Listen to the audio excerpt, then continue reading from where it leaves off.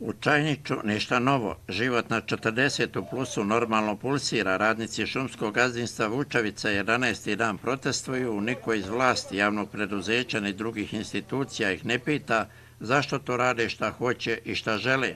Među njima jedino sazreva mišljenje da je za njihovu agoniju kriva republička vlast i njeni čelnici koji znaju za dosta para na računu i žele da postave direktora po svojoj volji Neđa Mašića, čelnika lokalnog SNSD-a, za koga tvrde da nema uslove za vršioca dužnosti direktora i zbog koga je i konkurs poništen.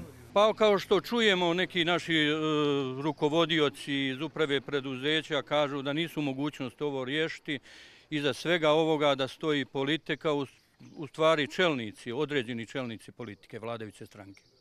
Stoji generalni direktor i stoji vlada, što ja znam i kažu, meni kare generalna direktora stoji iza toga viša politika, tako mi kare i uči. Tako mi je rekao da ne smije, da nije do njega da stoji viša politika njega. Eto što mi kaže. Znači, nebitni smo im. Prijatelja će doći sa policijom.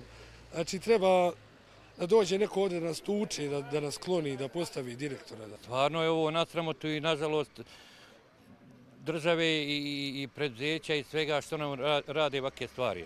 Dosadašnji direktor Slobodan Pejović, koji se nije javio na onaj poništeni konkurs poslije svih ovih dešavanja, kaže da će ponovo konkurisati jer ima podršku radnika. Pita se zašto se smjenjuje direktor firme koja godinama uspješno posluje i među tri je najbolje u javnom preduzeću. Ja bih zamolio stvarno ovim putem i gospodina Dodika da utiče svojim autoritetom i da ovo spriječi jer između ostalog, pomenut ću ga u pozitivnom kontekstu kad je rekao da će smjenjivati neuspješne direktore javnih preduzeća, a mi spadamo u javno preduzeće kao dio organizacijalnog dijela.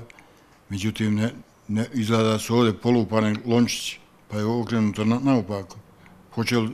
Počelo se smjenjivati najuspješniji direktori. Ne znam, to mi nije jasno. Bez obzira na ignorisanje njihovih zahtjeva, radnici su odlučni da nastave sa protestima i obustavom rada.